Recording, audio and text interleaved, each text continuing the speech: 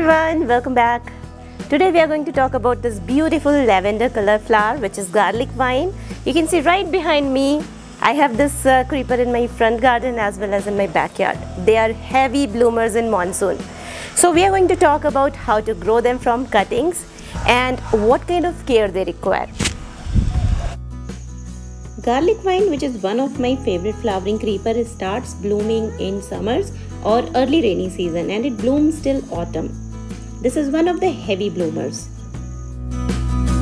The plant produces beautiful lavender color bell shaped fragrant blossoms and this plant is also called as false garlic plant because its leaves smells like garlic when crushed. The plant has lots of medicinal uses. Uh, its leaves are used to make medicines for cough, cold, flu and pneumonia. Another interesting thing about this plant is the entire plant is edible and it can be used as a substitute for garlic.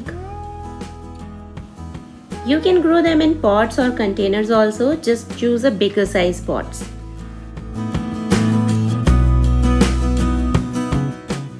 Grow this plant in full sunlight for heavy flowering and trim it once the flowering season is over. It's a very light feeder. That means it doesn't require much fertilizer. I have this creeper for last 4 years in my front garden as well as in my backyard.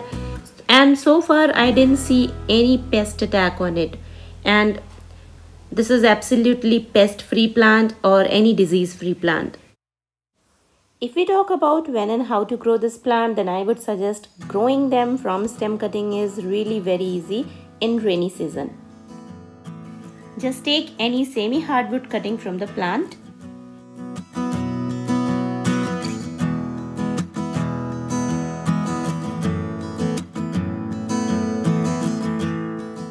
And make sure each cutting have at least 3 to 4 nodes from where new shoots will emerge and new leaves will come up.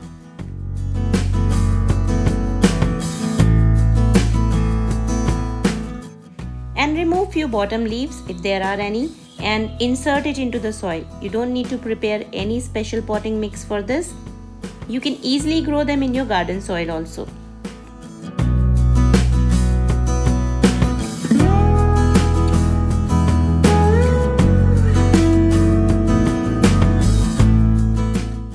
Keep your pot outdoors. Rest all rainwater will do its magic and you will see results within few days only.